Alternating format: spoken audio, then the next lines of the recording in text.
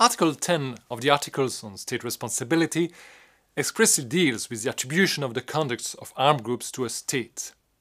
In particular, it deals with insurrectional movements, which becomes the new government of a state, and any movement, insurrectional or other, which succeeds in establishing a new state in part of the territory of a pre-existing state or in a territory under its administration. Article 10 provides for a particular mechanism of attribution in those cases. All the violations of international law, including, of course, IHL violations, committed by the armed groups are attributable to the state providing that they take control of the government or successfully create a new state. In other words, attribution applies retroactively it gives rise to the international responsibility of a state for acts which were not attributable to that state at the time when they were committed, since the author was not the organ of the state yet. What is the rationale behind this particular standard of attribution? It is highly debated. Some argue that the rationale is the representativeness of the rebels.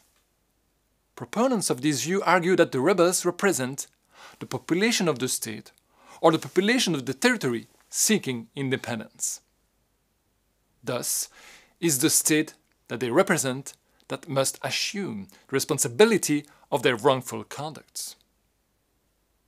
However, such rationale is flawed in two respects. First, not all of such rebels represent the population. Second, this would limit the scope of application of Article 10 by making it applicable only to rebels representing the population. This is the reason why the International Law Commission opted for another rationale. The continuity between the existing or the new state and the rebels, justifying that the former would be the responsibility for the violations committed by the latter. However, this rationale is also open to criticism. The transition from rebel groups to new government or state is often characterized as much by discontinuity as by continuity. In addition, although the International Commission intended to give the widest scope to that standard of attribution, in order to avoid situation of impunity after civil wars, the Commission took a step back with respect to the attribution of the conduct of insurrectional movement. It was conscious of the potential negative impact that a systematic application of this standard would have on the stability of post-conflict states.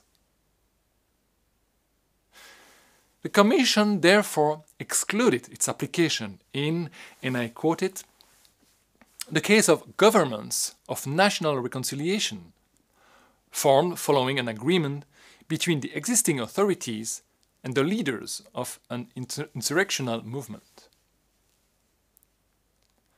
Finally, as emphasized by the International Law Commission in its commentary, one must note that Article 10 is without prejudice to any responsibility that the armed group could bear itself for its own conduct under international law. For example, for a violation of IHL committed by its own forces.